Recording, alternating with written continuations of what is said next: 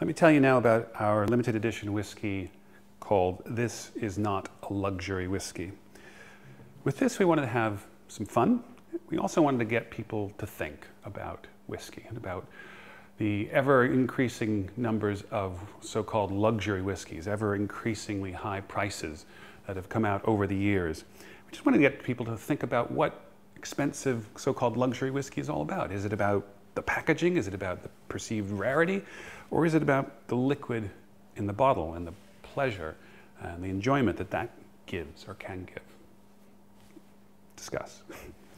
Um, we call it This Is Not a Luxury Whiskey. We're inspired by the famous René Magritte painting, um, early 20th century surrealist painting, painting of a pipe, realistic painting of a pipe, and underneath it he paints, This is not a pipe. This is not a luxury whiskey. It's a big whiskey. What we wanted to do was make something unassailably um, luxurious, if you will. Um, and to do that, we sourced some quite old malt whiskey from the Glenrothes distillery that has been aged in beautiful sherry butts all of its, all of its life. And to that, we buttressed it with a little bit of uh, very old uh, smoky whiskey from the Caol distillery.